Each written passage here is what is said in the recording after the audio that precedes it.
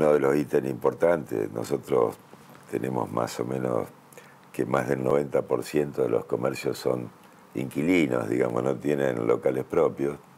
Entonces un ítem importante es ese. Y han migrado.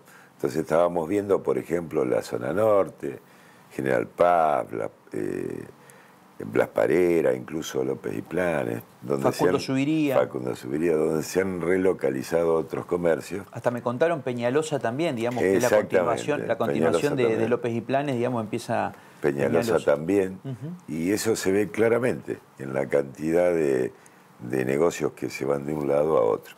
Es una forma más de tratar de subsistir en un momento eh, muy crítico, eh, muy golpeado toda la actividad comercial, incluso eh, una serie de, cuestiones que vos sabés, cuando no hay la caída real del salario, los problemas que se ven cotidianamente y que algunos se agravan con el tiempo.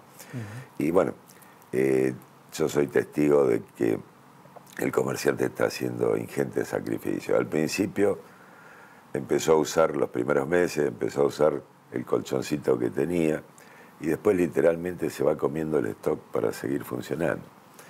Con lo cual, eh, justamente es un momento sumamente crítico para la actividad.